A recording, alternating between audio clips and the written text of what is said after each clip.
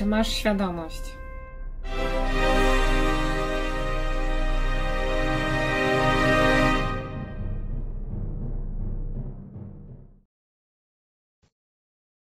Zielona fala dla tramwajów na większości skrzyżowań.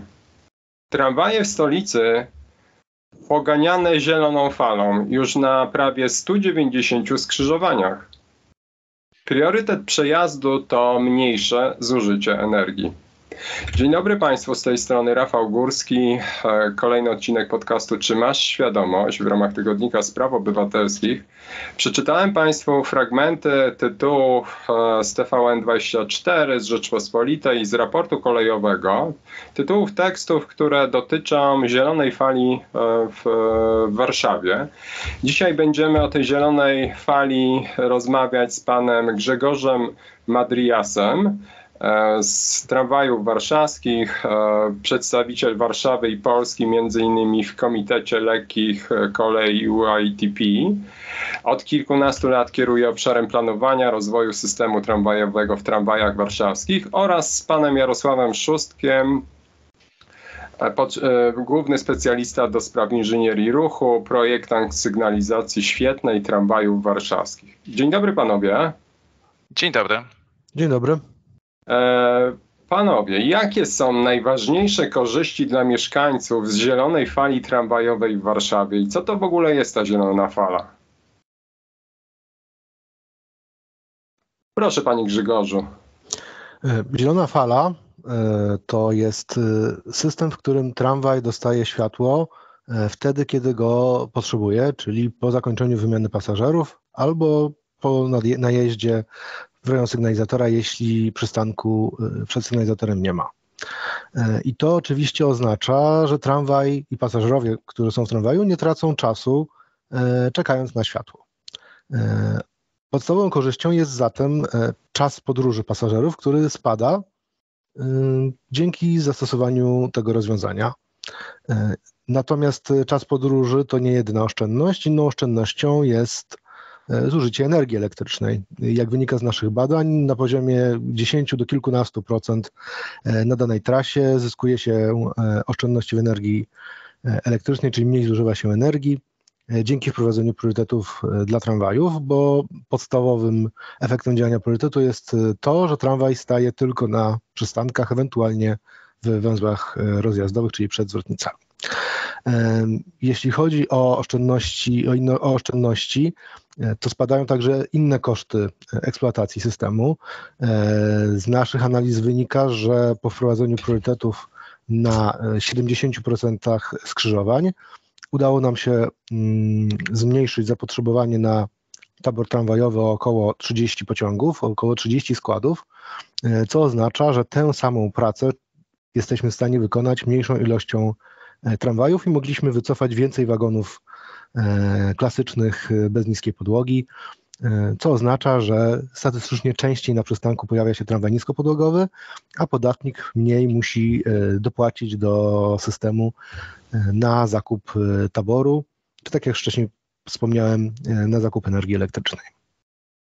Można jeszcze dodać, że usprawniamy dzięki stosowaniu sygnalizacji z priorytetem dla tramwajów bezpieczeństwo ruchu, dlatego że jeżeli mamy sygnalizację świetlną na odcinku, gdzie tramwaje rozwijają większą prędkość e, rzędu 40 km na godzinę lub większą, e, to zmniejsza się ryzyko, że motorniczy będzie musiał gwałtownie hamować, jeżeli nagle zostanie zakończony sygnał zezwalający.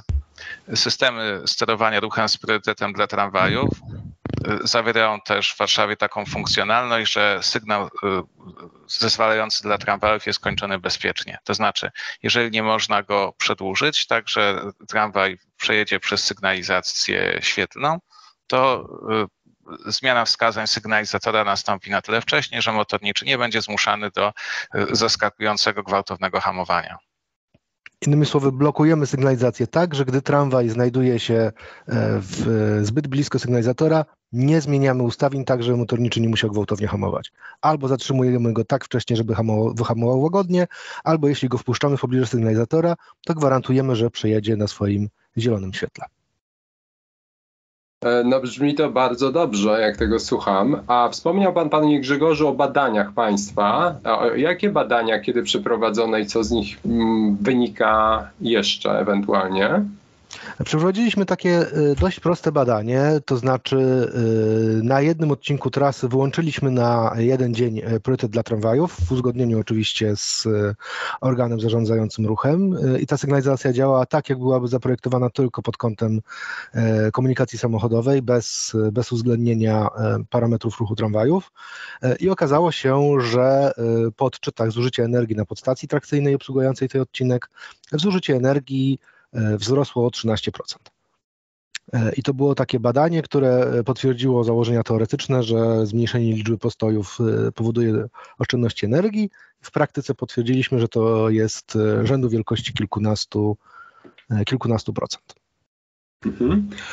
A panowie, a czy ta zielona fala dla, dla tramwajów gryzie się z zieloną falą dla samochodów? Jaki wpływ na ruch samochodowy ma ten priorytet, o którym państwo mówicie, priorytet dla tramwajów?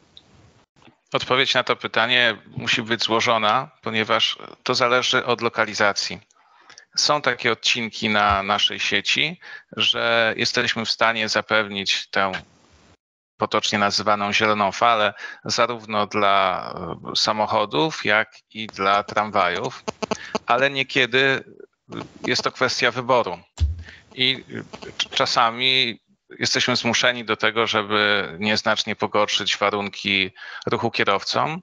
Zazwyczaj oznacza to nie tyle zmniejszenie samej przepustowości, co konieczność e, poczekania na zmianę sygnalizacji, zmianę wskazań sygnalizacji świetlnej, która w danej lokalizacji bardziej preferuje ruch tramwajowy.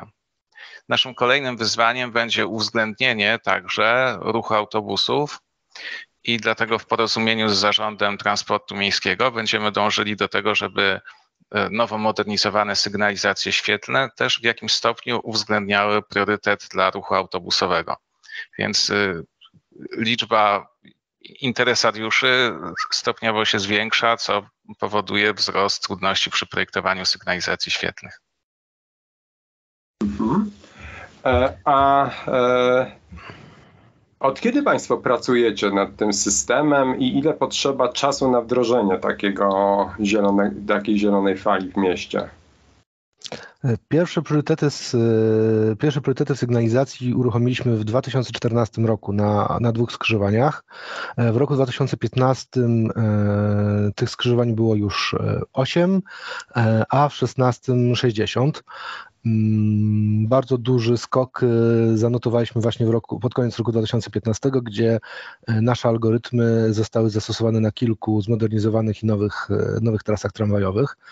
Mm, ile czasu potrzeba? To dużo zależy od tego, jaki jest stan infrastruktury i jak wygląda procedura, która w każdym mieście jest, jest specyficzna, wynika z tego, w jaki sposób ustawowy podział między organ zarządzający ruchem i zarządcą drogi został zrealizowany, a także jak w strukturze e, mieści się infrastruktura tramwajowa. W Warszawie jest taka sytuacja dość nietypowa, że tramwaje warszawskie są właścicielem swojej infrastruktury, czyli tej infrastruktury, z której korzystają, łącznie z torami w Wiezdniach. W wielu miastach jest tak, że tory i w ogóle zarządzanie e, torami jest, jest domeną drogowców co też zmienia sposób, w jaki, to, w jaki to powinno działać.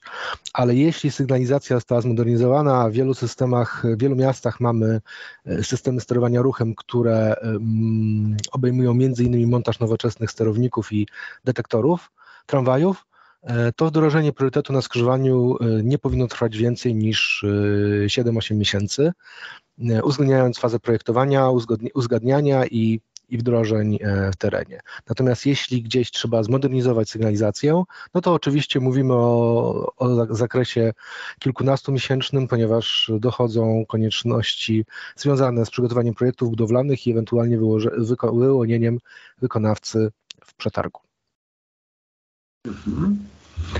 E, a czy priorytet dla tramwajów da się zrobić wszędzie i jakim kosztem? Priorytet dla tramwajów może być e, zastosowany w każdej lokalizacji, ale nie zawsze będzie to priorytet pełny. Tym terminem określamy takie działanie sygnalizacji świetlnej, y, które powoduje, że tramwaje nie ponoszą żadnych strat czasu, natomiast na bardziej skomplikowanych skrzyżowaniach y, ten priorytet jest po prostu niższy.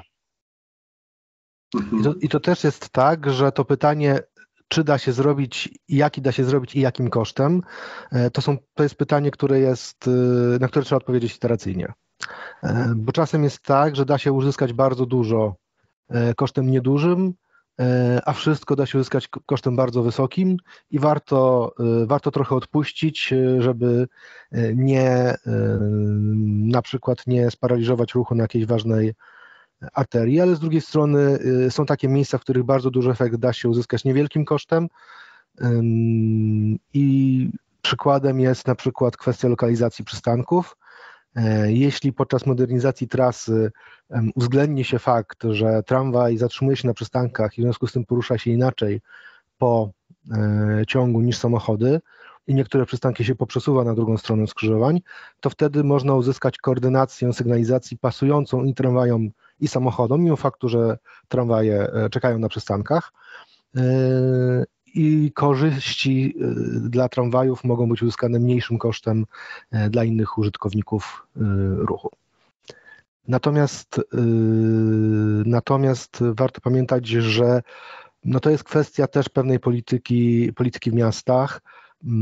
Miasto prędzej czy później dochodzi do punktu, w którym musi podjąć decyzję, w jakim stopniu przyjmować komunikację zbiorową, jakim kosztem dla komunikacji indywidualnej E, I też warto jest tutaj e, po prostu na poziomie planowania generalnego świadomie podjąć decyzję. Dany korytarz jest korytarzem, w którym transport zbiorowy ma pierwszeństwo, a inny korytarz równoległy jest korytarzem, w którym ruch samochodowy może mieć pierwszeństwo i wtedy łatwiej jest e, pogodzić te sprzeczne wymagania, no bo inaczej się steruje ruchem samochodowym w obszarze, w którym on ma mieć tylko dostęp, bo obsługuje bezpośrednio otoczenie, a inaczej, w którym biegnie na przykład droga międzynarodowa, droga krajowa, i e, te interesy trzeba w jakiś sposób pogodzić, przynajmniej do czasu wybudowania e, układu obwodowego na przykład. To przypomniał mi Pan e, wypowiedź profesora Suchorzyskiego. Ja już nie pamiętam, kiedy ja ją słyszałem. Czy to było koniec lat 90., czy troszkę później, kiedy on mówił o tym, że no Warszawa zawsze będzie miała korki i trzeba już się z tym pogodzić. E, I taki przyszło mi teraz pyta e, pytanie do głowy, czy ta zielona fala, ona coś robi, coś robi dobrego w kierunku e, rozwiązania problemu korków w mieście? Znaczy, zgadzam się z tym, co e, świętej pamięci profesor Schorzewski e, powiedział. W mieście wielkości Warszawy e, nie ma co liczyć na to, że korków nie będzie, dlatego że jest takie prawo już opisane naukowo, które dowodzi, że w dużym mieście ruch samochodowy wypełni każdą przestrzeń, którą się dla niego przeznaczy. W związku z tym E, oczywiście można poprawiać płynność ruchu, można poprawiać bezpieczeństwo ruchu, ale w ostatecznym rozrachunku poziom przepustowości jest zdeterminowany geometrią drogi i najprawdopodobniej prędzej czy później zostanie wykorzystany, o ile gdzieś nie ma wąskiego gardła. Stąd bardzo mnie zawsze rozczulają informacje, że oto przebudujemy skrzyżowanie, na którym są korki, E, i te korki znikną, a następnie tydzień czy dwa tygodnie później e, w tej samej gazecie jest artykuł, że oto drogowcy jak zwykle e, nie stanęli na wysokości zadania, próbowali skrzyżowania i korki pojawiły się na kolejnym skrzyżowaniu gdzieś dalej. No pojawiły się oczywiście dlatego, że więcej samochodów przejechało przez skrzyżowanie, które dotychczas było krytyczne i krytycznym punktem stało się skrzyżowanie kolejne. Stąd y, trzeba y, trzeba działać e, na cel atrakcyjnej komunikacji zbiorowej po to, żeby ludzie e, po prostu mieli alternatywę, e, żeby ci dodatkowi kierowcy mieli możliwość się zmieścić w tramwaju czy w autobusie. Bo jakby podstawowym argumentem, dlaczego nie pojechałem tramwajem, bo jest zatłoczony albo po prostu nie mam tramwaju. Hmm. To z kolei to, co Pan mówi, z jednej strony bardzo mnie cieszy, z drugiej strony przypomina mi właśnie nasze początki e, lata 90. kampanii Tiry na Tory, gdzie sprowadziliśmy do Polski film e, Wpuszczeni w korek, dokument. E, polecam Państwu bardzo serdecznie. On jest na kanale Instytutu Spraw Obywatelskich, też w formie opisowej jest na stronach Tygodnika Spraw Obywatelskich, ale no ale właśnie e, kiedy to mówiliśmy, właściwie to co Pan mówi teraz, e, te lata 90. kilka dekad temu, no to nie było takich przykładów, żeby pokazać w Polsce dobre wzorce. Tutaj rozumiem, e, taki przykład jest w końcu i można się do niego odwoływać. A jak wygląda praca takiej sygnalizacji od strony pasażera i od strony systemu? Od strony pasażera tutaj nie, nie ma żadnej różnicy. Sygnalizacja świetna z zewnątrz wygląda jak każda inna. Dopiero e, użytkowanie jej poprzez podróżowanie na dłuższym odcinku objętym priorytetem daje takie wrażenie szybkiej, płynnej jazdy. No, poza tym to są instalacje jak każde inne. Czy masz świadomość? Dostarczamy Ci treści bez cenzury i bez reklam. Potrzebujemy Twojego wsparcia. Dorzuć się do mediów obywatelskich. Wpłać darowiznę. Link do wpłat znajdziesz w opisie do podcastu. Słuchaj, myśl, działaj. Mhm. A e, czy e, do tego, żeby takie instalacje wdrożyć, potrzeba, potrzebna jest e, jakaś magiczna wiedza? Jak, jak, e, jak to wygląda od strony um, osób czy, czy potrzeb, potrzeb e, posiadania w, w urzędzie danego miasta osób, które się na tym znają. To da się zrobić bez posiadania takich osób, tylko to oznacza, że oddaje się całą, cały know-how jest użytkownika zewnętrznego. Z reguły w firmie, która mm, przygotowując algorytmy korzysta ze swoich E, opatentowanych e, algorytmów systemowych, wprowadzając system. I w związku z tym to ogranicza, choć nie eliminuje, e, możliwość wprowadzania jakichś zmian z poziomu, z poziomu użytkownika końcowego. No ale ma też taką zaletę, że jest trudniejsze do że się tak brzydko wyrażę, zmajstrowania z jakichś niskich pobudek e, politycznych, bo system raz zoptymalizowany, uruchomiony, mm, trudniej jest potem z przyczyn politycznych e, zepsuć. A to jak wiemy w, bywa niestety e, problemem, choć w Warszawie z takimi przykładami nie mieliśmy do czynienia. Ale da... przepraszam bardzo, ja pana zatrzymam, ale co to znaczy zepsuć politycznie, bo myślę, że część słuchaczy nie wie o co chodzi. Jeśli sygnalizacja nie działa w sposób systemowy, tylko każda sygnalizacja jest zaprojektowana indywidualnie, e, to dość łatwo jest e, pójść do projektanta i powiedzieć: Słuchaj, ale tutaj ktoś ważny skręca w lewo, tutaj tramwaj nie może tego, e, tego przytrzymywać tego skrętu w lewo, niech sobie tramwaj poczeka, jak jest ten skręt w lewo. Jeśli jest y, optymalizacja na poziomie systemowym, to oczywiście jest to dużo trudniejsze, y, bo do końca nie wiemy, jak działają te, te algorytmy systemowe. Tak jak mówię, to są e, opatentowane rozwiązania. Ale z drugiej strony, jeśli mamy rozwiązania zaprojektowane indywidualnie, a tak jest na większości skrzyżowań w Warszawie, e, to jesteśmy w stanie z każdego skrzyżowania wycisnąć e, więcej niż w przypadku standardowych rozwiązań systemowych. Kiedyś e, przeprowadziliśmy taką próbę e, tylko w środowisku komputerowym, oczywiście nie, nie w terenie. Na skrzyżowaniu w Warszawie e, ulicy Marymąckiej e, przy hali Marymąckiej z ulicą e, Słowackiego. I okazało się, że system jest w stanie uzyskać taki poziom priorytetu jak nasz algorytm indywidualny, ale z dużo, dużo większymi stratami czasu dla pojazdów indywidualnych. Natomiast e, projektant, który skupi się na każdym skrzyżowaniu indywidualnie, e, poobserwuje jak ono działa, dostosuje parametry algorytmu do tego skrzyżowania, e, jest w stanie wycisnąć z niego więcej. To w sumie jest prawda w każdej sytuacji, że rozwiązanie skrzyte na miarę jest wygodniejsze niż rozwiązanie standardowe z katalogu. E, dlatego warto zainwestować e, w projektantów sygnalizacji, e, którzy, którzy umieliby projektować takie rozwiązania. I w skali całej inwestycji to nie są przecież duże koszty, bo budowa sygnalizacji świetnej, nowej sygnalizacji na jakimś skrzyżowaniu to jest kilkaset tysięcy złotych, a dobry projekt to jest kilkanaście, kilkanaście tysięcy. Rozumiem. Pan, pan, panie Jarosławie, jest właśnie takim projektantem, tak? Tak i y, tutaj nawiązując do wypowiedzi przedmówcy, jestem sceptycznie nastawiony do y, powierzania tak odpowiedzialnych zadań jak przygotowanie priorytetu dla, dla tramwajów firmom zewnętrznym, y, ponieważ z doświadczenia mogę powiedzieć, że sygnalizacje, które takim priorytetem są objęte, wymagają w zasadzie nieustannego nadzoru i, i co jakiś czas trzeba modyfikować parametry sterowania.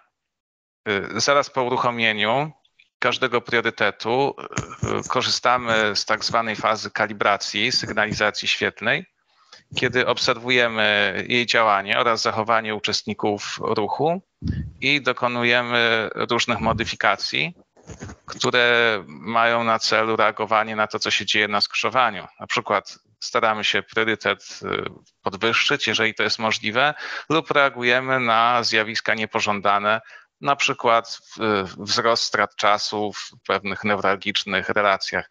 Trudno jest mi sobie wyobrazić, żeby firma zewnętrzna przez kilka tygodni czy przez kilka miesięcy regulowała jedną konkretną sygnalizację. Podobnie też trudno jest mi sobie wyobrazić, żeby y, zamawiający z ramienia jakiegoś miasta czy zarządcy drogi nie dysponował fachową kadrą, która umiałaby ocenić, czy dana sygnalizacja już pracuje optymalnie i nic więcej nie da się zrobić, czy jednak powinniśmy dążyć do tego, żeby, żeby ten proces sterowania cały czas się zmieniał, ewoluował.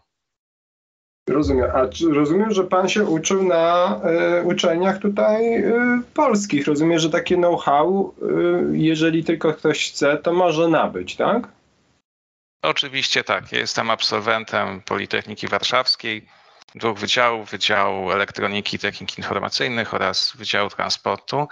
I w mojej ocenie e, ośrodki krajowe jak najbardziej są wystarczające do zdobycia wiedzy fachowej, ale nie zapominajmy, że e, kluczową kwestią jest po prostu doświadczenie, dlatego że modele teoretyczne, które są, e, które są słuszne i prawidłowe i bardzo potrzebne, e, to wymagają także doświadczenia, żeby projektant wiedział, jak te modele zastosować w praktyce. Mhm. Panowie, a od czego powinny zacząć miasta, które chciałyby u siebie wdrożyć zieloną falę do tramwajów? Odpowiedź na to pytanie jest prosta. Trzeba znaleźć takie lokalizacje, które generują największe straty czasu i po prostu przeprojektować sygnalizacje świetne, ale dbając jednocześnie o to, żeby nie zaczynać inwestycji od takich miejsc, które są bardzo obciążone ruchem indywidualnym albo y, nie wybierać lokalizacji, które są mocno wyeksponowane, na przykład sygnalizacji w samych centrach miast Chodzi o to, żeby w tym początkowym okresie pozwolić sobie na popełnianie błędów i uczenie się tego procesu. I ten sposób postępowania przyjęliśmy w Warszawie, gdzie zaczynaliśmy od tras wybiegowych, od sygnalizacji świetnych, stosunkowo prostych, ale gdzie w naszym odczuciu tramwaje ponosiły bardzo duże straty czasu, bo na przykład sygnalizacja świetlna korzystała ze wzbudzania sygnału, ale detektor, który wykrywa tramwaje, był zlokalizowany w niewielkiej odległości od sygnalizatora, na przykład 10 metrów przed sygnalizatorem, co oznaczało, że tramwaj musi zacząć hamować, a praktycznie nawet zatrzymać się, zanim w ogóle zostanie wykryty. Intuicja pokazywała, że jeżeli odpowiednio oddalimy taki detektor, będziemy mogli zapewnić płynny przejazd tramwaju, oczywiście bez zwiększania strat czasu innych użytkowników ruchu. Y, mogą być też przykłady, gdzie koordynacja sygnalizacji świetlnych jest taka, że tramwaj za każdym razem prawie przejeżdża, ale jednak jest zatrzymywany przez sygnał zabraniający niewielkie przesunięcie tak zwanego offsetu. Y, w programie sygnalizacji świetnej jest w stanie spowodować, że nie tylko samochody, ale także tramwaj zmieści się w koordynacji. To też takie lokalizacje dobrze jest wybrać. I stopniowo, jeżeli trasy wybiegowe i peryferyjne zostaną objęte priorytetem, należy przechodzić do tych trudniejszych skrzyżowań w, w centrum miasta. I my w tej chwili w Warszawie jesteśmy na tym etapie. Ja może poszedł na poziom troszkę bardziej ogólny, bo pytanie było, od czego trzeba zacząć i to wszystko, co powiedział kolega jest y, jak najbardziej prawdą.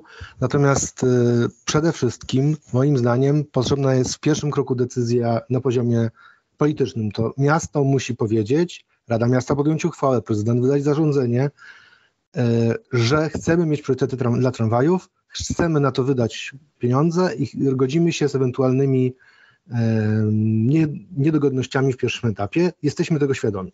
To jest pierwszy ruch. Myśmy takie zarządzenie prezydenta y, Wojciechowicza uzyskali i to faktycznie... A w którym roku?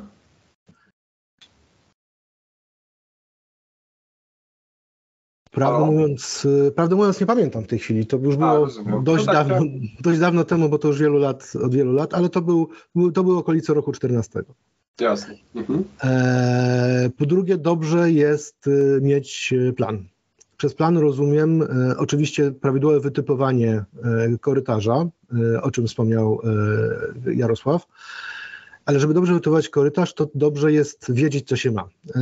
Zinwentaryzować skrzyżowania, gdzie chodzą, jakie programy, jakie sterowniki, jakie są wymagania E, sprzętowe, bo może jest jakiś ściąg sygnalizacji, który i tak wymaga remontu albo wymaga dostosowania do obecnych przepisów i przy okazji e, kosztów, które i tak by się ponosiło, można poprawić komunikacji.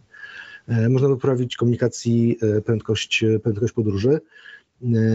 Jak już gdzieś są nowoczesne sterowniki, to warto sprawdzić, gdzie jest detekcja tramwajowa i w ogóle czy występuje, bo tak jak kolega zauważył, E, czasem jest tak, że po prostu my zbyt późno wiemy o obecności tramwaju na danym skrzyżowaniu, e, żeby, e, żeby zdążyć zareagować. I to jest częsty, częsty błąd wdrożeń, że teoretycznie został zaprojektowany priorytet dla tramwajów, ale i tak zmuszamy tramwaj do zatrzymania, bo zbyt późno o nim wiemy.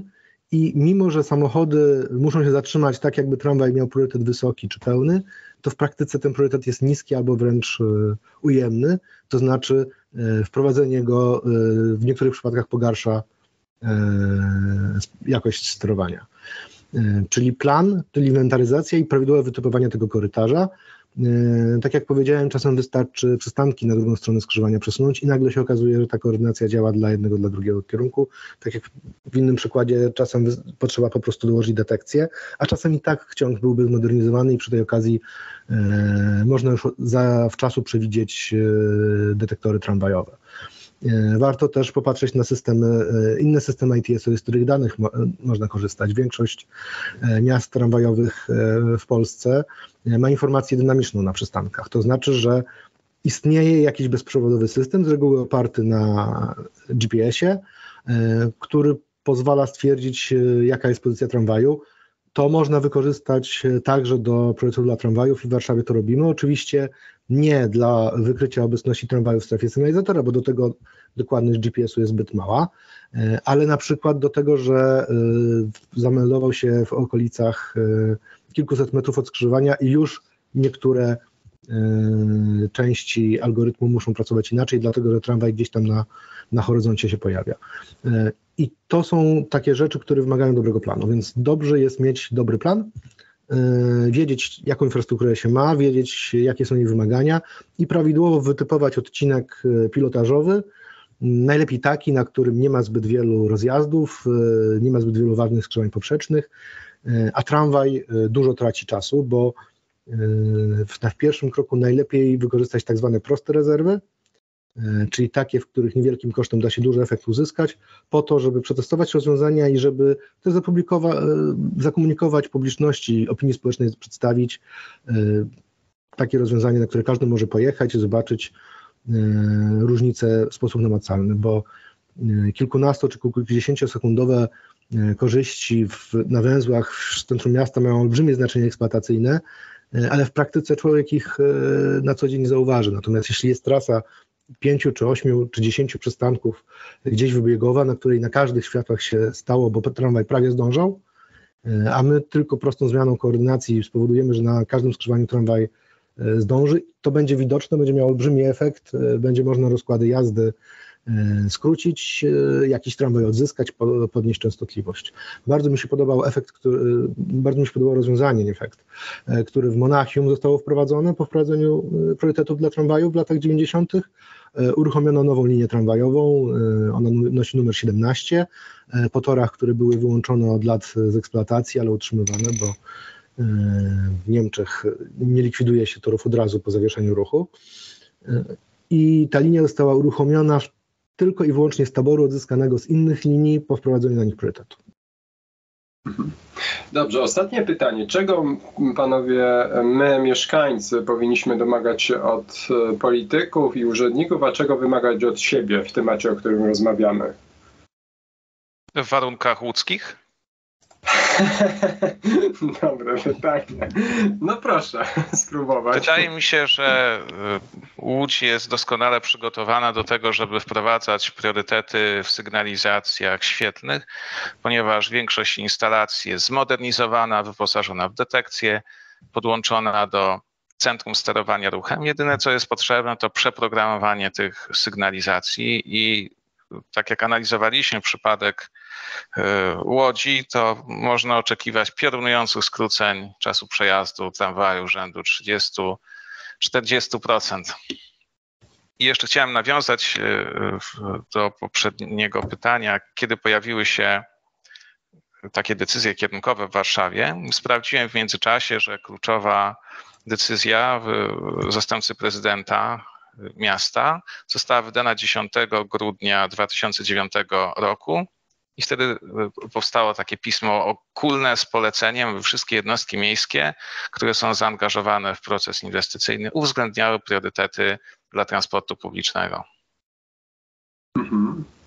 No, y, bardzo y, dobrze tego słyszy, bardzo dobrze się tego słucha, kiedy pan mówi o piorunującym, aż używa takiego określenia, piorunujące skrócenie czasu podróży w Łodzi. Myślę, że mieszkańcy nie mają takiej świadomości, że to może być aż taki efekt.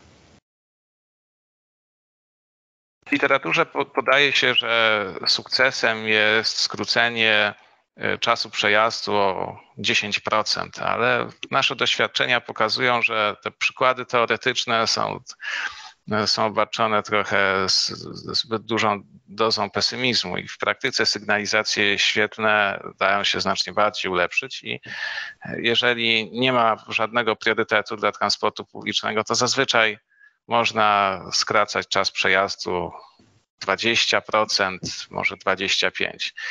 A w Łodzi tak się niestety dzieje, że e, te sygnalizacje świetne wręcz dołują ruch tramwajowy. Co znaczy, że, że sieć tramwajowa ma naprawdę ogromne rezerwy, po które sięgnąć jest niezwykle łatwo.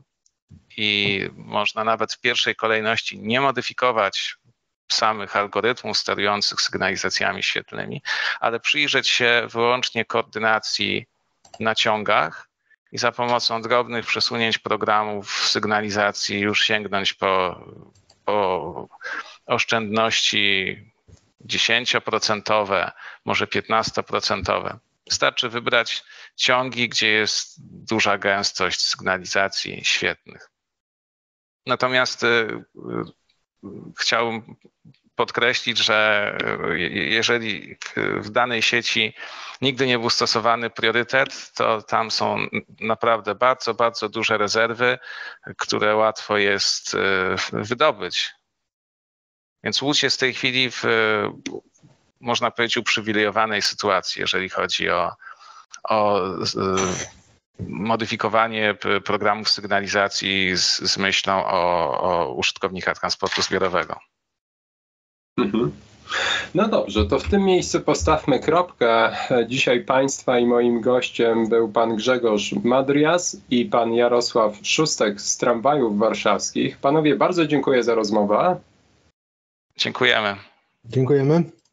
E, a z Państwem żegna się już Rafał Górski. Kolejny odcinek podcastu Czy masz świadomość w ramach Tygodnika Spraw Obywatelskich już za tydzień we wtorek. Do usłyszenia. Dziękujemy za uwagę i do usłyszenia w następnej audycji Czy masz świadomość?